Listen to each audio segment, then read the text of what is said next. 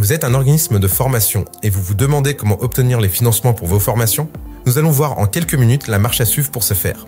Nous allons nous intéresser aux OPCO, à Pôle emploi et bien sûr au CPF qui est sûrement le moyen de financement qui vous intéresse le plus. Tout d'abord, il y a des prérequis communs à avoir pour tous les différents organismes de financement que je viens de citer. Dans tous les cas, vous devez obtenir un numéro de déclaration d'activité ainsi que la certification Calliope. De plus, il est primordial d'appliquer Calliope et cela dans l'ordre des critères.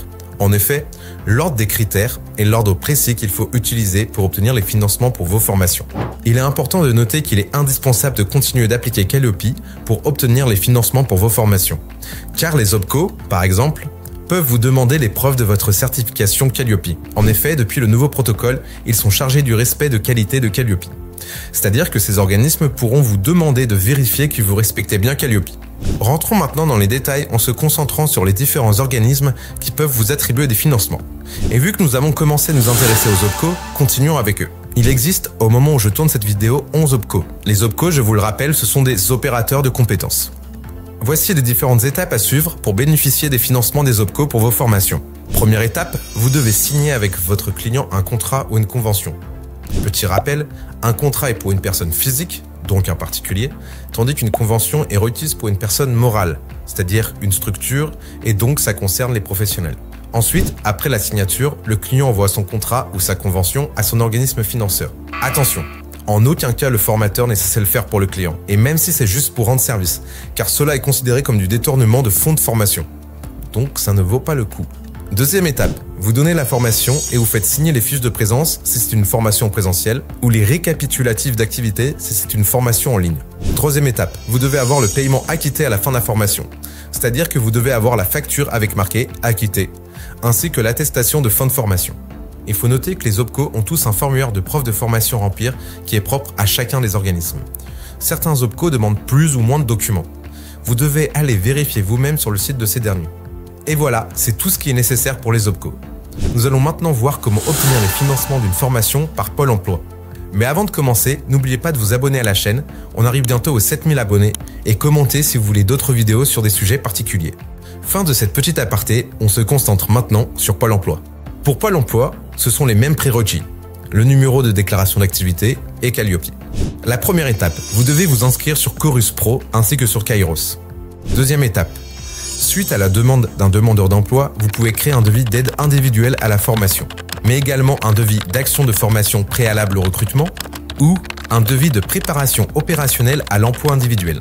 Le devis est transmis au conseiller Pôle emploi du demandeur pour validation ou refus.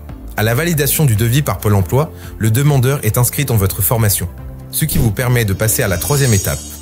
Pour celle-ci, vous informez Pôle emploi des données du parcours de formation, c'est-à-dire de l'entrée en formation au premier jour, des absences ou des abandons, s'il y en a, et bien sûr, vous déclarez la fin de formation. Pour cela, vous devez obligatoirement saisir le bilan de fin de formation qui sera transmis au demandeur d'emploi. Quatrième étape, et la dernière, à la fin, vous devez envoyer vos facturations de formation via Chorus Pro et transmettre les justificatifs de réalisation de la formation à Pôle emploi. Et c'est tout pour le financement par Pôle emploi. Passons maintenant au dernier organisme de financement que nous allons voir dans cette vidéo, le CPF. Je sais que vous êtes nombreux à être intéressés par celui-ci, alors quelles sont les démarches pour obtenir un financement? Alors pour le CPF, je pense que vous avez un peu compris maintenant quels sont les prérequis, le numéro de déclaration d'activité et Calliope. La première étape, vous devez vous inscrire à EDOF et avoir un partenariat avec un certificateur. La deuxième étape, si une personne veut suivre votre formation, vous lui envoyez un lien d'inscription. Celle-ci s'inscrit et elle paye via le site du CPF.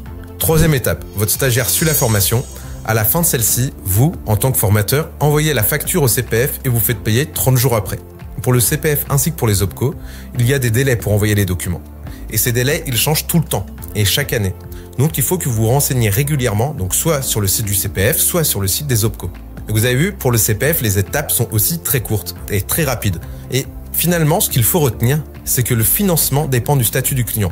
Le processus, il est toujours le même, mais en fonction du client, qu'il soit professionnel, qu'il soit un particulier, les documents demandés ainsi que le timing pour les envoyer, bah, ils sont différents. Ce qu'il faut retenir, déjà, c'est qu'il est très important d'avoir un numéro déclaration d'activité, et Calliope. En fait, ce n'est pas que c'est très important, c'est que c'est indispensable. En parlant des CPF, si ça vous intéresse ou si vous ne savez pas comment rendre votre formation éligible, allez voir cette vidéo. Vous pourrez découvrir, par exemple, les 4 types d'actions différentes pour vous inscrire. Merci d'avoir regardé cette vidéo et posez-moi toutes vos questions en commentaire. On se retrouve très bientôt pour une prochaine vidéo.